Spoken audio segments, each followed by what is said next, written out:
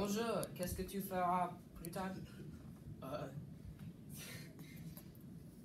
alors, euh, j'irai à l'université et après j'obtiendrai mon diplôme. Euh, je serai informaticien parce que j'aime les ordinateurs. Et toi, qu'est-ce que tu feras plus tard?